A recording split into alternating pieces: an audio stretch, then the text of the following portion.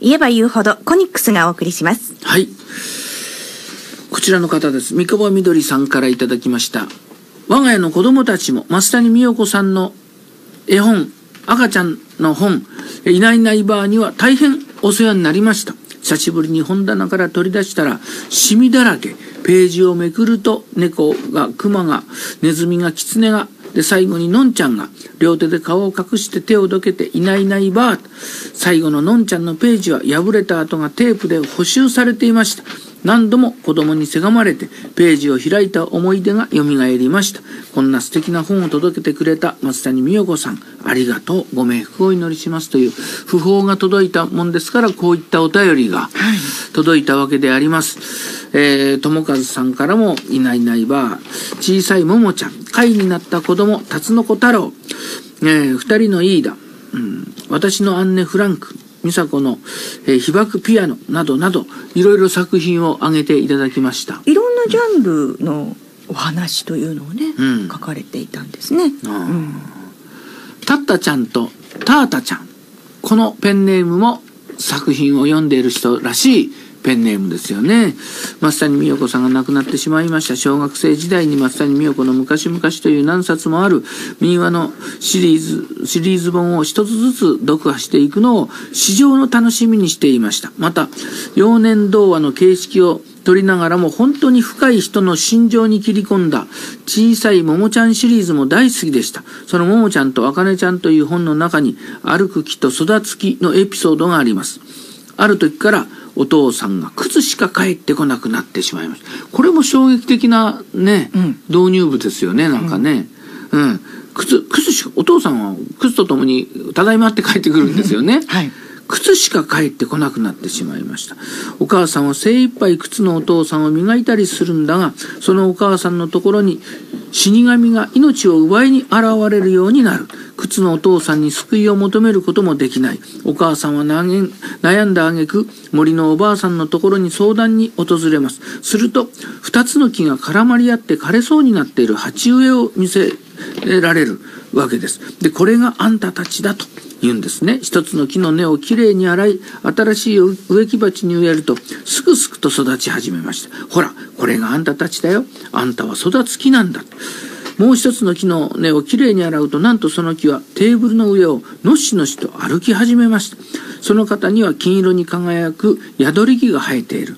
えーご主人は歩く木なんだ。歩く木というのは悲しいものさ。歩かないではいられないんだ。そしてお父さんは元の家で、子供たちとお母さんは別の家で暮らすことになります。そのエピソード、子供の頃に読んだ時は、ものすごく怖くて悲しくてたまりませんでした。後に小説、捨てていく話の中で松谷さん、ご自身の体験の投影であることが書かれていました。今読み返しても歩く木、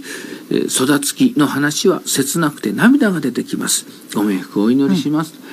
今も大きく影響を受けてますね、この人は。はい。うん。私もねあの辰の子太郎がちっちゃい時大好きでね、うん。この辰の子太郎ってあのこ子供の話だとバカにしてはいけませんよっていうぐらいあの壮大ですごいいろんな問題を、問題っていうのはこう問題提起みたいなね、ものを抱えたお話で、うん。あの辰の子太郎あ結構いろんなねあの第一部第二部じゃないですけどエピソードに分かれててあのお友達の幼なじみのああやあやだったかな、女の子が鬼にさらわれたんでまずそれをこう助けに行くってところから始まるんですけど、で鬼にさらわれて、ね、鬼を退治してその女の子幼なじみを助けるっていう話ももちろんある中でその鬼はやっぱりいろんなあの悩みとか困ったことを抱えていて、それをちょっとこう助けてあげたりとか、でその行く工程で今度お母さん生き別れになったお母さんを探しに行く旅になってこうお母さんがまたですねあの竜になってしまっていて、でこう池の底にずっとこうまあ潜んでるわけですけど、もうかなりこうなんていうのかなちょっとひねひねくれちゃって。であのにもう人間なんて嫌いみたいなところになってる中にこう会いに行ってみたいな、ん。あのすごいあのいろんなことを考えさせるお話になってるんですよ。うん。だその辺のところがですねあの他で読んだいわゆる簡単な、まあ、鬼退治に行ってはみたいな童話とちょっと違う、ん。いろんな多分松谷さんの思いみたいなものがあったと思うんですけれども、やっぱりね童話とかね昔話とか、さっきのあの宮部君が話してくれたお祭りのその一つのシステムとかは、え。やっぱりいろんな比喩と象徴みたいなものがね、はい。そんな中にあって子供はそれわからないでしょうけども読み聞かせている大人は読み聞かせながらもこういうことなんだろうなという大人は大人でそれををこう感銘を受けながら子供はストーリーとか「ももちゃんどうなるか」とか、はい。そっちの方だけでもあの子供たちはぐっといくだろうし同時に大人と子供がねえいろいろ考える時間を与えてくれた人ではないかなと。な泣ける話なんですよ、うん。あのた辰の子太郎を育てるためにお母さん竜はですね、うん。一つずつもう竜になったんでお乳があげられないからあら。目を一つずつ自分でくり抜いて、うん。でそれをチューチュー吸って辰の子太郎は育てるということで目が見えない竜になって池の底に潜んでるんですよ。あら。という母と子の情であるとか